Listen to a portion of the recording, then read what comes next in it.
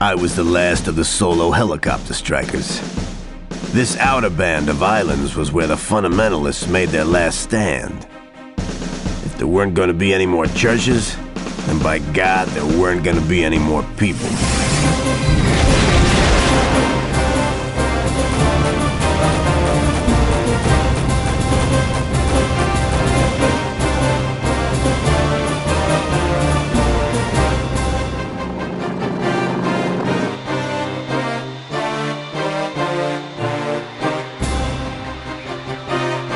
It was the last real fight on Earth, and I loved it.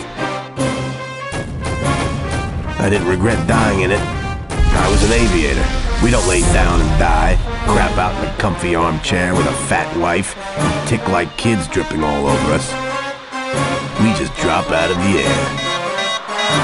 The soul catcher chip knew what was happening. I felt it crackle, take a deep breath, summon itself, and suck me in.